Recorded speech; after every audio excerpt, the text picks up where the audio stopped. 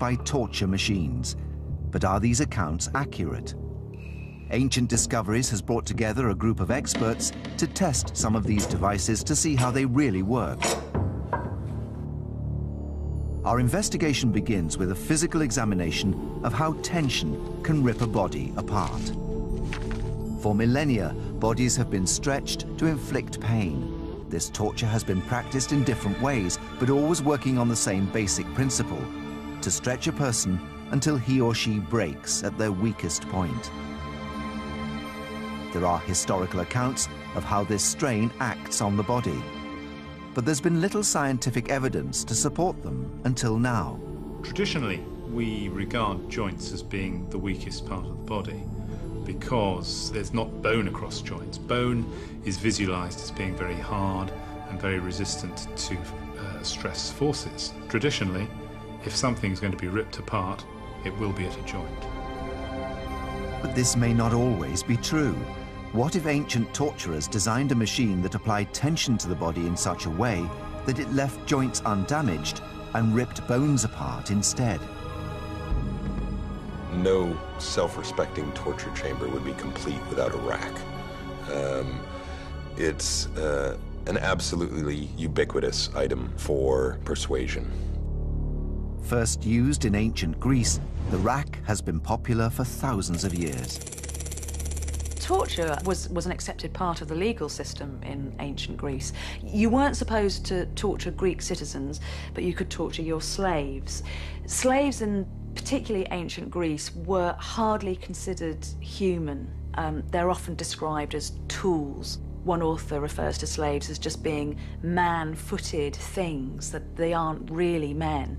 Um, and it was thought that one of the only ways that you could get truth out of slaves was literally to pull the truth out of them. Historical accounts contain startling details of how the rack acted on the body. So cruelly racked at the pulleys that his limbs were forced apart at the joints. To see its effect on human bodies, Richard Windley has built a model of one of the earliest examples. Basically what we've got is a long ladder frame, which is two main long supports with cross pieces. The main sort of windlass device is this end. This is what actually produces the tension or, or the pulling. Now, one of the critical elements of, um, of this device is the use of this, what we call ratchet and pull system, and that's a kind of locking device. And the, the point of this is that one can increase the tension incrementally so that each little click of this thing is going to give just another level of pull and yet more discomfort to the poor unfortunate who's actually tied down on the rack. Richard is joined in his experiment by trauma surgeon Dr. Mike Edwards. They hope to find out just what this slow build-up of tension does to the body. Richard and Mike are using a pig's leg to test the power of the rack. A pig's knee is a good substitute for a human knee because the joint's structures are of similar strength and position in both species. I'm sure that tension's being taken equally. There we go. With that? Yeah, I think we are. That's good. When that goes, James Dean, a specialist in creating three-dimensional schematics, is using technology specifically designed for ancient discoveries investigation. This is a pig's knee, and if we take a look and remove the skin, we can see the structures underneath which hold the knee together. Uh, first of all, we can see the muscles, and on the bottom we have the hamstrings. And then back on top, we can see we have the quadricep, tendons, which connect the muscles to the kneecap, and then we also have the ligaments, which are responsible for the bone-to-bone -bone connections. Now, if we simulate the rack and we start applying tension to the model, you can see that first of all it's the muscles which are opposing this force. And the muscle fibers are contracting and it's, it's trying to pull and hold the knee together. But if we keep on applying the tension, we'll see that when we zoom in, the, the muscle is starting to give way. The, the filaments of the muscle are, are, tearing, and the muscle itself is losing its ability to contract and hold the knee together. And so we see the first signs of extension.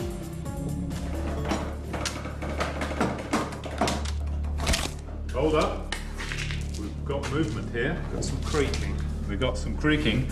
Well, I think I think that one of the tendons has gone just here on the back of the knee joint. Yes, I thought I felt something crack. No, you did. Something definitely went there. I don't think there's going to be much further to go before it starts coming apart. I think probably we're finding that there's going to be there's certainly some stretch inside the knee now. I just crank it up and let's keep going. So we've just seen that by continuing to apply tension to the knee, we have actually managed to rip the patella tendon out of its connection with the bone. Uh, and this has left the kneecap floating free.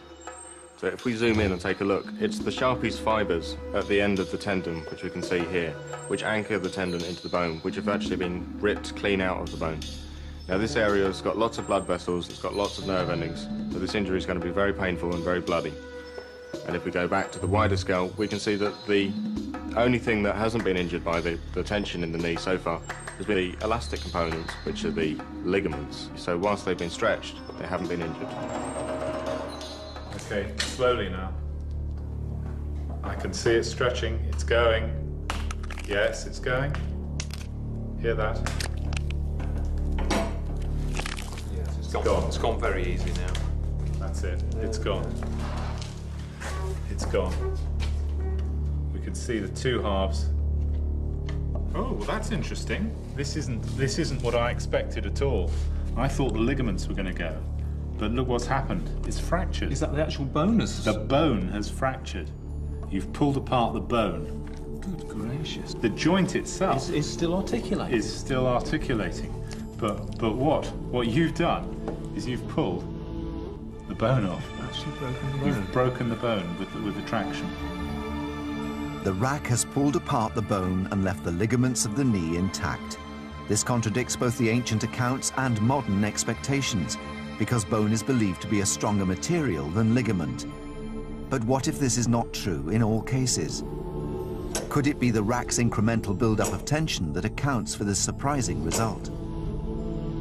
As we continue to apply tension, we can see that finally it's the bone itself which is pulled apart. And we can see that the growth plate, which is the area of the bone where new tissue forms, is the weakest part of the bone, and this is where the bone has actually ripped into two pieces.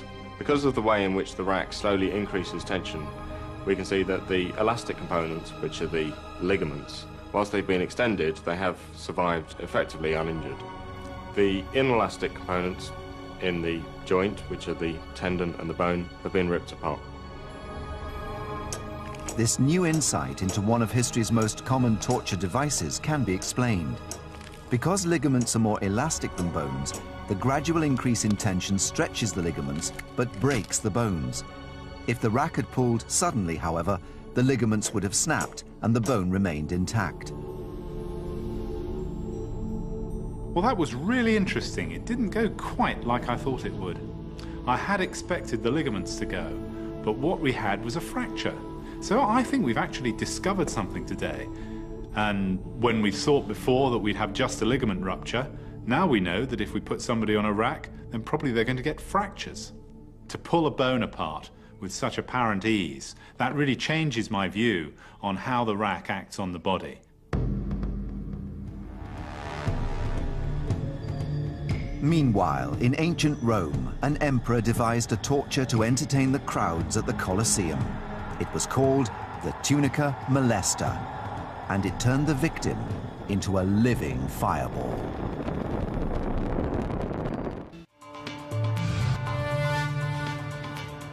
In the ancient world, the masses were often entertained with displays of torture and death, and this was never truer than in the Roman games. These huge spectator events were put on in amphitheatres across the entire Roman Empire. We hear all kinds of accounts of very, very, very gruesome, very showy forms of torture being developed so that somebody can die an excruciating death in front of your eyes. One man who particularly enjoyed these ingenious new torments was the Emperor Nero. Among the Roman emperors, Nero stands out as kind of infamous for the, his use of uh, torture and public spectacles. He made them elaborate um, festivals of pain. Nero is remembered for one of the most spectacularly cruel tortures ever seen in the amphitheatres of Rome, a torture that turned a man into a human torch. An account written by the first century poet Lucilius describes a torture designed at the request of Emperor Nero. It was called the tunica molesta. The tunica molesta is a particularly unpleasant reenactment of the mythological death of Hercules. Hercules was tricked in myth into putting on a poisoned tunic. The poison burnt his flesh to the bone. The pain was so unbearable that Hercules set himself on fire. The Romans kind of act this out in the amphitheatre, in which condemned criminals are forced to put on um, a tunic impregnated with inflammable material, and then it's set fire to. How was this torture designed to maximize the spectacle for the audience? By creating an explosive and long-lasting fireball on a living human being. It is hard to say for certain exactly what the tunica molesta would have looked like. It would have been a fabric uh, tunic, uh, probably linen, coated in flammable material, Pyrotechnic expert Scott McIntyre is investigating the flammable material that Nero might have used for the perfect human fireball. We're going to attempt to, to try and uh, maximise uh, the, the, visual impact um, of having a burning garment. We could try out different materials to try and maximise that effect, get the flames as large as possible, to really try and just get as impressive a, a spectacle as possible. He will need to create fire on a linen tunic that ignites explosively with plenty of flames. The most easily ignited substance available was naphtha. It would have been around in Roman times. It's a very thin liquid, looks just like water, but uh, it contains uh, flammable uh, vapours that will be readily given off at this kind of temperature.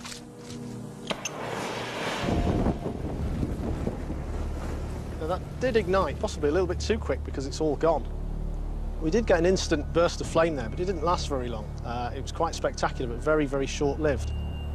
There is an historic document, however, Foxe's Book of Martyrs, that suggests how large, rapid flames and a long-lasting burn may have been achieved.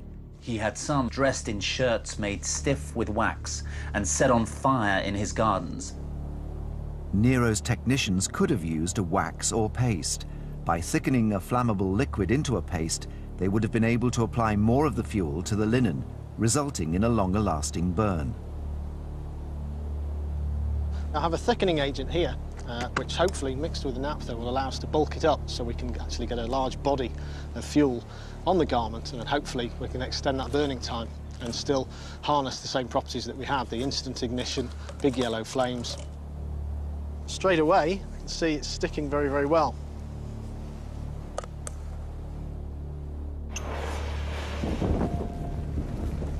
Wow, that ignites instantly hopefully should burn quite a lot longer. Yeah, there's a lot more fuel burning there.